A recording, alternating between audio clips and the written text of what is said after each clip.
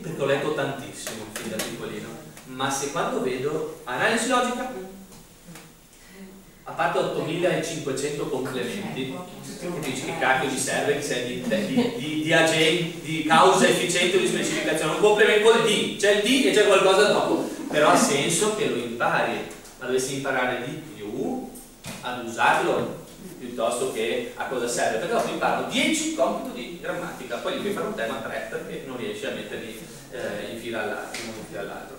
Mancano altri due bisogni, perché uno può fare una vita tranquillissimamente meravigliosa così, ma se siete qua vuol dire che ne avete altri due. Che sono il bisogno di crescita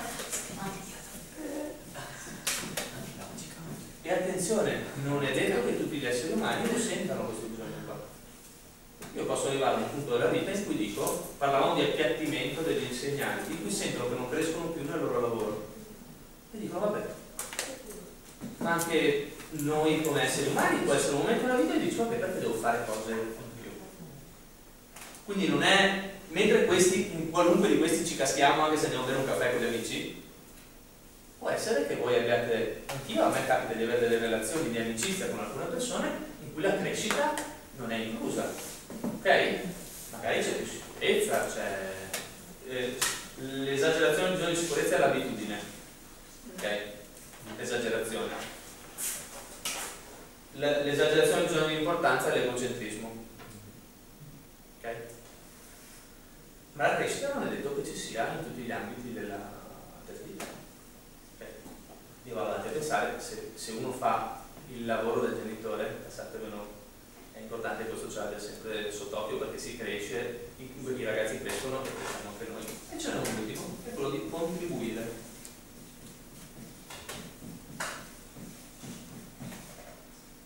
quindi contribuire alla crescita di qualcun altro.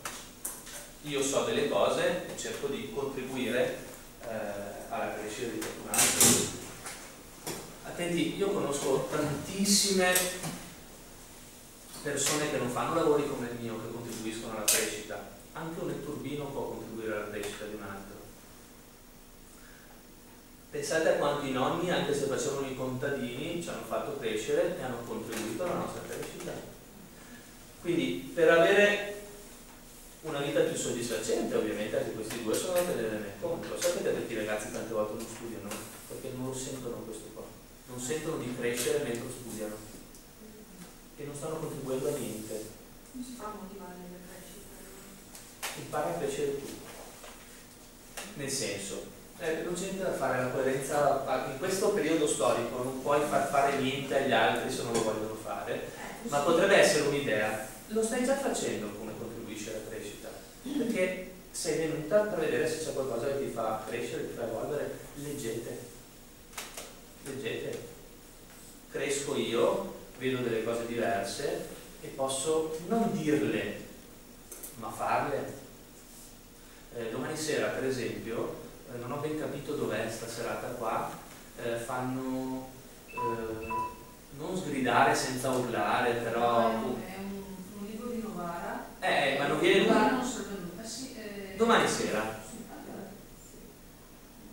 Da qualche parte, eh, urlare non serve a nulla. Eh, per esempio, quella potrebbe essere una buona occasione di crescita, quindi non è che vi parlo solo di me. Eh, ci sono persone tanto più brave di me o che abbiano abitudini diverse dalle mie, io credo molto che se voglio far capire per esempio a mio figlio che urlare non ha senso, comincio a non urlare io. Se voglio farti capire che studiando cresci, qual è la cosa più facile da fare? Mi presento con un libro, leggo, io, faccio delle cose utili per me e mi vedono che quando mi chiedono le cose non, non mi giro perché sono super concentrato su quello che sto facendo, mi sto anche insegnando che la concentrazione è una cosa importante. Ok? E lo vedono, per esempio, cosa che dico spesso anche con i compiti per, per casa, quando fanno i compiti sento che hanno bisogno di voi vicini. Mettetevi vicini, ma fatevi gli affari vostri. Leggete qualcosa mentre loro leggono. Se poi vi chiedono e siete disposti, rispondete. Allora, credo sia nel libro La scuola mi piace eh, un un'indagine che hanno fatto in Danimarca in cui hanno verificato che 8, prendiamo un disturbo dell'apprendimento, ogni 10 ragazzi che hanno un disturbo dell'apprendimento, 8 arrivano da famiglie in cui ci sono meno di 11 libri in casa.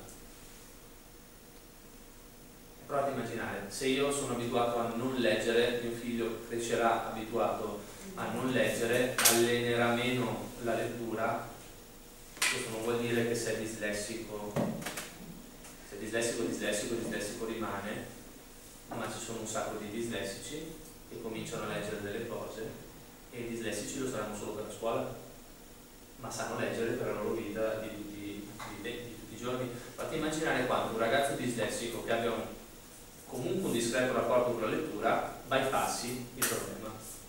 Se un ragazzo dislessico invece vede che ha grandi difficoltà di lettura, attorno vede persone che non leggono perché verosimilmente uno dei due genitori lo è, a sua volta è difficile per quel bambino capire che quella roba lì è una roba bella. Okay. Questi due, ribadisco, non sono obbligatori, però sono, sono carini. Eh, faccio sempre dalla parte degli insegnanti, quindi non è la mia, dalla parte di quelli che a volte sono considerati nemici dalle famiglie. Sono insegnante a voglia di contribuire e ha voglia di crescere assieme ai propri ragazzi. I voti. Potrà essere anche la persona più dura del mondo, dare i voti più brutti del mondo, ma se i ragazzi percepiscono questo, pensano che lo sta facendo con un motivo. Eh? Penso che lo che si mette molto poco, penso che odiato, ma anche lo Sì, se, se dall'altra parte non c'è questo, se io te un motivo, ti faccio capire che questa cosa è veramente per il tuo bene, anche se a volte sono, io sono più per l'idea del ti do sempre 5, fai un compito da 5 e mezzo, io ti darei 6 e vediamo cosa succede. Perché a volte premia un po' di più. Tanto se vuoi dare 5 i pagare alla fine glielo dai lo stesso, ma prova a premiare, vediamo cosa succede dando un minimo di soddisfazione. Ma credetemi che ognuno di noi ha avuto degli insegnanti duri, degli allenatori, la vita è dura, ma la vita contribuisce tantissimo alla nostra crescita, sì o no? Dipende dal significato che do io, le cose che capitano, ma se un insegnante è duro e mi fa capire che questa roba qua, la fatta che stiamo crescendo, vi assicuro, non c'è un ragazzo che pensa al voto come una critica. Pensa al voto di Giovanni Marocchi aver preso un brutto voto, ma sa che può crescere. Se invece l'insegnante è, vabbè, questo è quello che vali, 4, tu, timbro, e tutte le verifiche che hai fatto passasse il mondo, prendi quel voto lì, a un certo punto dici, basta, mi odia. Ok? È capitato anche a me. Io la ringrazio tanto per la mia professoressa.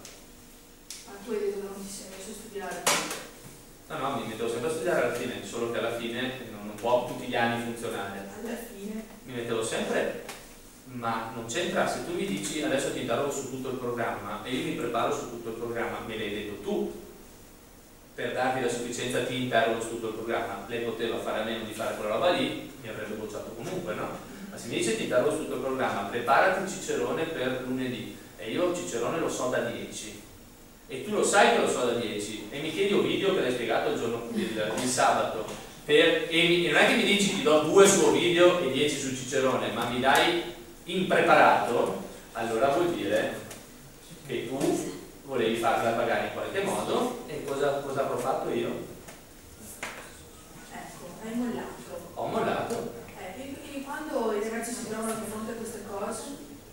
mi viene da mollare, cosa, cosa bisogna fare? Dico che è umano e non dovete fare niente.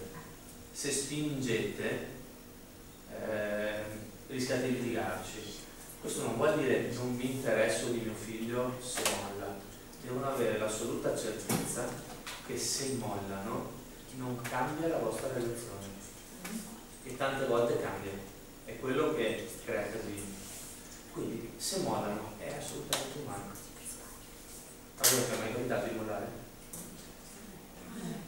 Dai, capita, eh, non stanno mollando, non è un fallimento può essere che stanno volando una cosa che gli sta dando troppa sofferenza a volte. Ah, guarda che io quando sono stato bocciato soddisfacevo tutti, soddisfacevo tutti questi bisogni. Mi sentivo in contatto con i miei compagni di classe perché li facevo ridere ogni volta che, che succedeva una roba. Mi sentivo importantissimo ogni volta che mi inventavo una balla nuova per non farmi interrogare. Eh, mi dava sicurezza a non essere preparato ero certo, così non Certo. potevo preoccuparmi, ma sapete quante robe ho imparato da questo? Perché poi quando ho cominciato ad essere preparato rimanevo sicuro, poi io so devo usare quello stato d'animo lì, che funziona tantissimo. Chi non è preparato è sempre meravigliosamente tranquillo. Chi sa che non ha studiato niente, eh, per quelli che si agitano non hanno studiato niente, secondo me de- non, non c'è qualcosa che non va. Varietà, tantissimo, ogni volta che devo inventare una nuova, mi sentivo di crescere. No, questi due no, ma questi quattro sì. No, contribuivo alla felicità degli altri. Ok? Eh, però questi quattro li soddisfacevo tanto. E quando questi sono soddisfatti a un livello alto, e non cambi mica, eh. Perché per me andare bene o andare male, eh, eh, stavo meglio quando andavo male.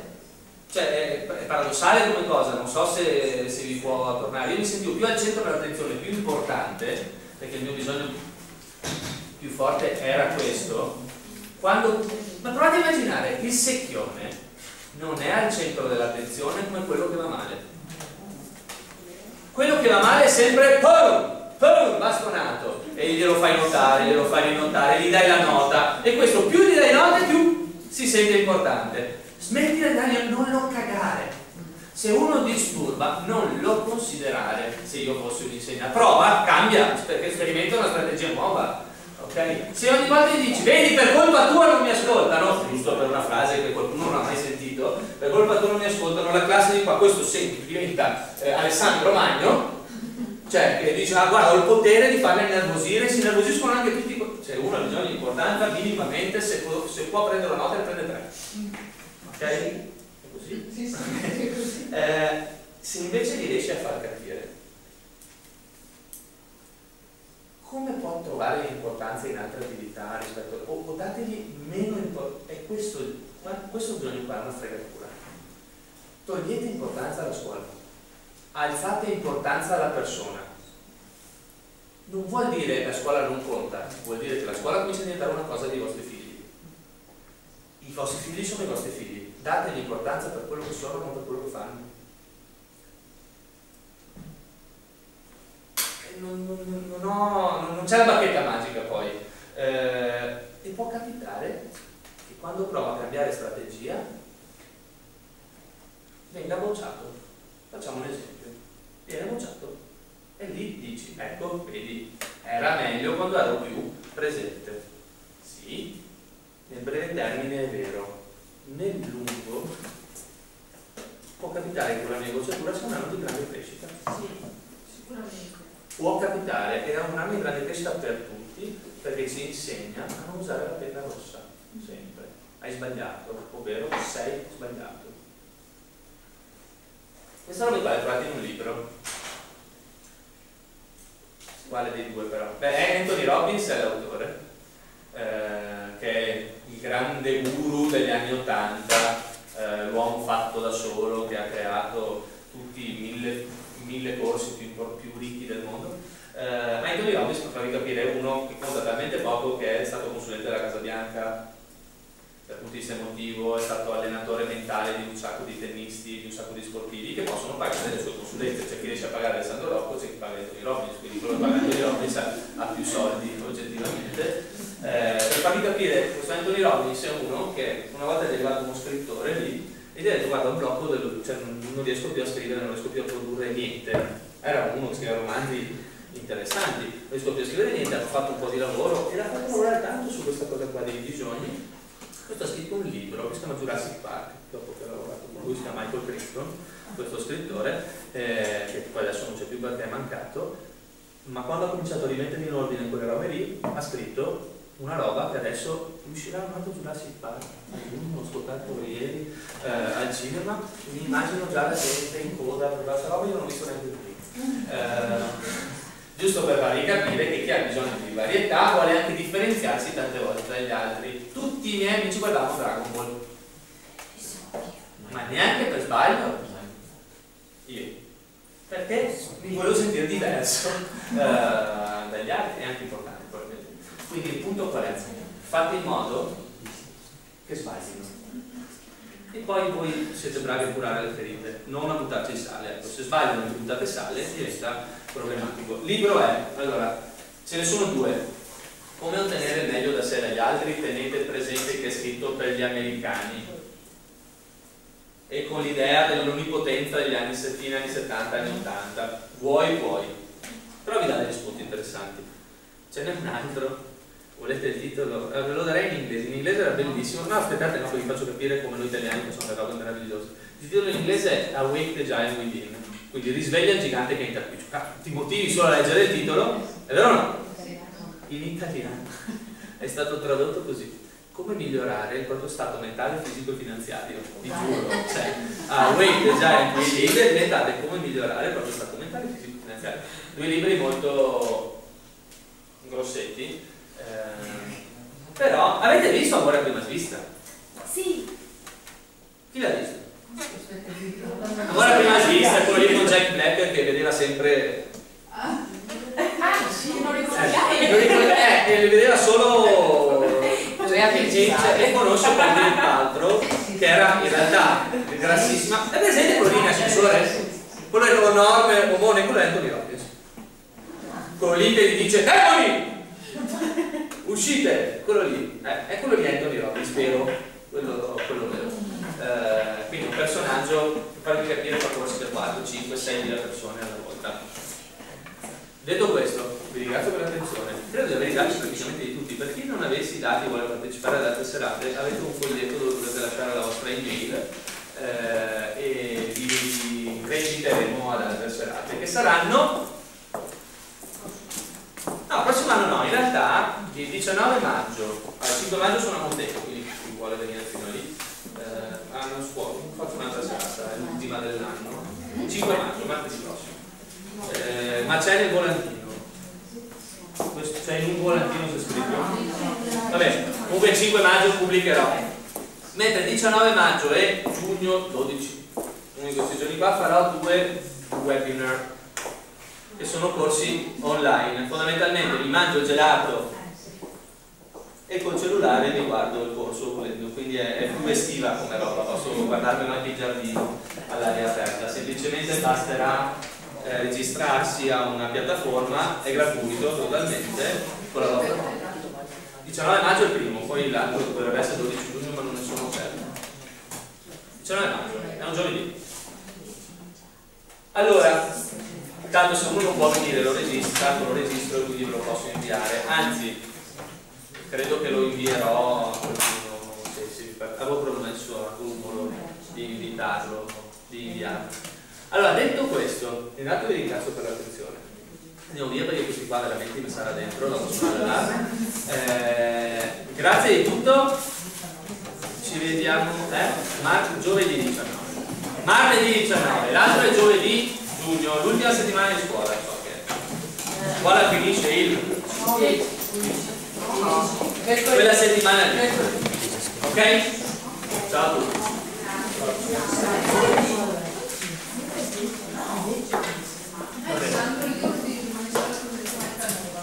Eh, mi pareva fosse vicino uh, all'allenamento, al Canova.